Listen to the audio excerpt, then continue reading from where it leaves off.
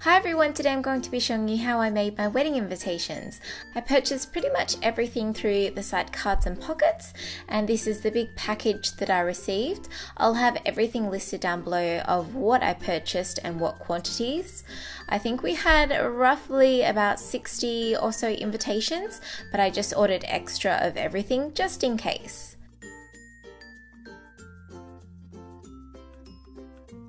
I went with the theme of the rustic brown with the cream and pink polka dots and you'll see how I transform this box into my invitations.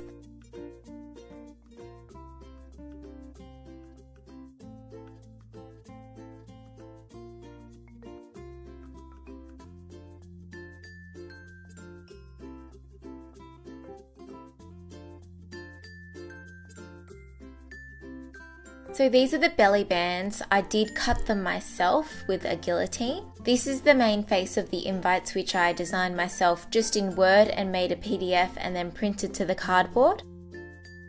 I also did the same with the information packs uh, such as the venue, little details,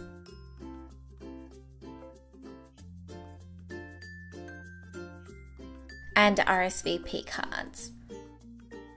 These are the little trimming of the invites that I cut up myself as well, just with the big sheets of the paper. And I had a lot of PVA craft glue. These little eyelet studs, an eyelet setter,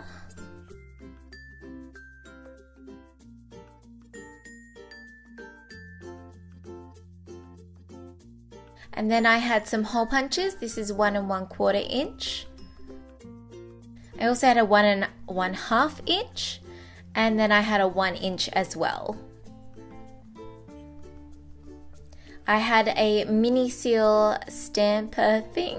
I don't know what you call it. I also managed to find some twine rope stuff as well. So now I'm going to show you how to make the template. I'm going to use some glue.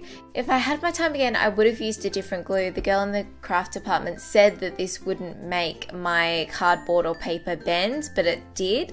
So just keep that in mind. I'm going to paste some glue on the very top edge of the cardboard and then place a strip down. Then I'm going to flip it over and stick the other edges down. And then I'm going to repeat on the other side.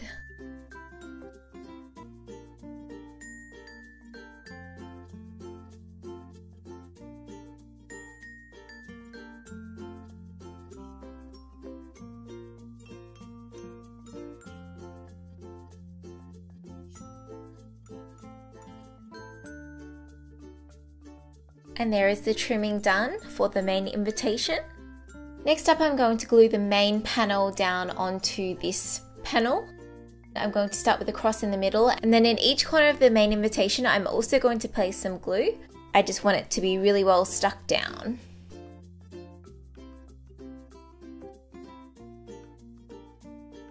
And make sure you're really a perfectionist with this, you definitely want it centered. Once that's down, you want to push a little bit hard and make sure it's all set. Now we are going to glue it into the pocket, I guess you would call this. So you want to fold your pockets as they do come flat and then you'll place it in there and place some glue on the back. So I put a big cross in the middle and then again on the corners I put some glue and then kind of all over. Then again, you want to just glue that into the middle part and that is the main part of the invitation now. So now onto the pocket information. I have a gift registry card, the venue, little details, and an RSVP card with an RSVP envelope.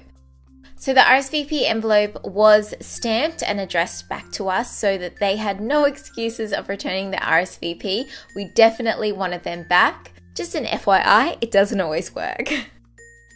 So now I'm going to stack everything all together nice and neatly and place the RSVP envelope in its place. And then I'm going to pop all the information into the little pocket.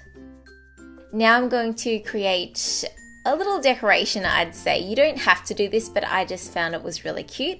I'm going to use the smallest and the largest hole punch and cut some holes in the rustic brown colored paper. Then I'm going to use the middle-sized hole punch to cut some circles out of the polka dot paper.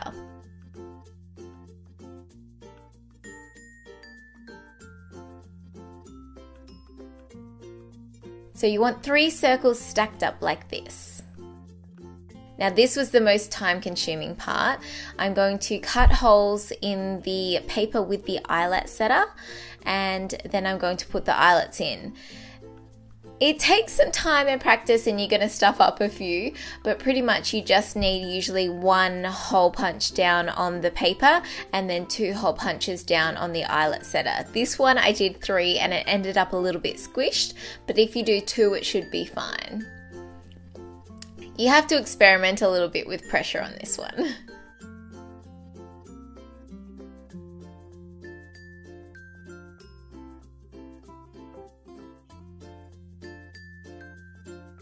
Next up, I'm going to put some information on the little circles. So I have this little contraption here and I'm going to use the lowercase letters to create names and also love hearts. So I'm going to insert some clear tape.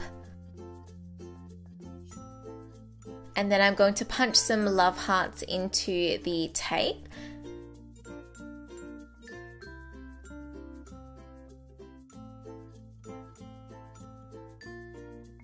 And then I'm going to peel it back and then cut off sections in three lots of love hearts.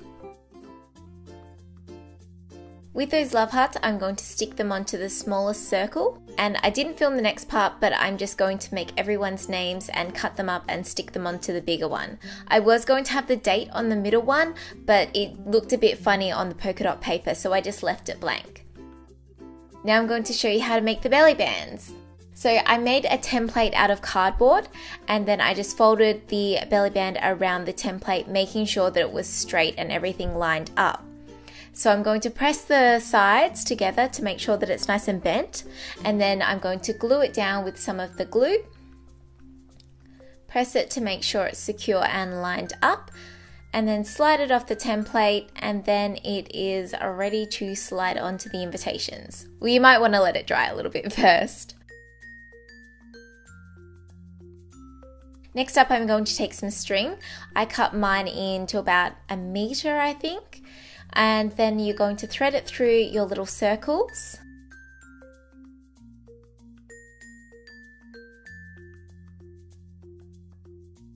You want to secure them about maybe a quarter of the way and then tie them in.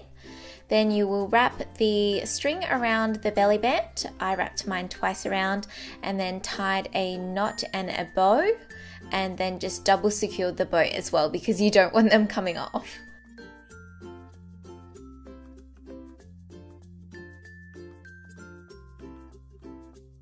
Then I'm just going to trim the ends so that they match.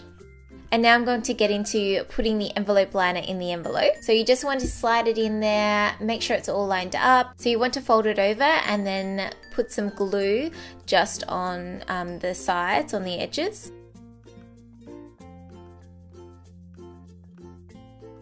Then you want to push it up against the edge of the envelope and fold it back and press down.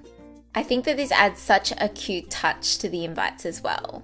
So pop in your invitations. I did find it best if you switched it around the other side, but I don't have footage of that, sorry. Then what I did is I glued down the invitations because I didn't think my spit would actually hold it.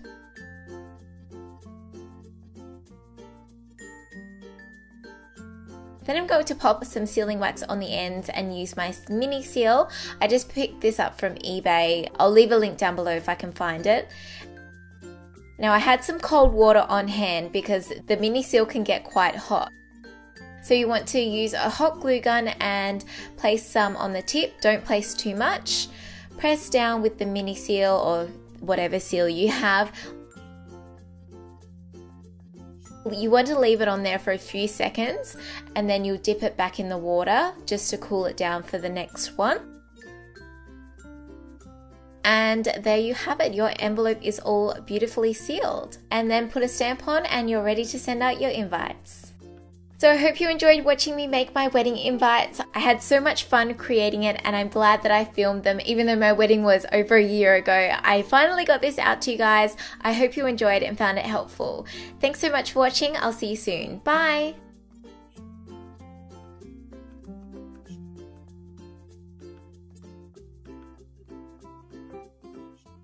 Okay, I don't want to get my lipstick on this, so I'm not going to handle this too much. But this is one of these winter, not winter, um, like blanket coats. Like it has the thing that you'll be able to see it on. I